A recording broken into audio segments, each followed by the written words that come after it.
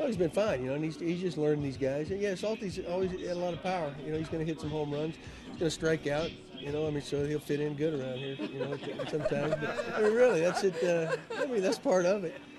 But he, uh, hey, you know, uh, when he starts the game, you know, he, he can he can run the whole game unless you maybe need a pinch run or something late in the game, and, and that's that's going to really benefit, you know, Russ. Plus, he's a switch hitter too. Um, so you don't worry about that. And he's been he's been around. He's caught them big, you know, some big league winning teams, and he's he's uh, you know he can give you some offense. That's for sure.